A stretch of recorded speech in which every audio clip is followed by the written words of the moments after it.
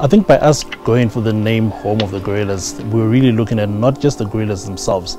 There's the whole issue of um, One Health now, where we're talking about um, nature, environment, uh, people, and also um, um animals.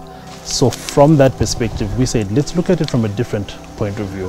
How can we improve awareness of conservation issues, improve awareness of gorillas and the habitat in which they stay in, and then involve the people who stay around the home of the gorillas.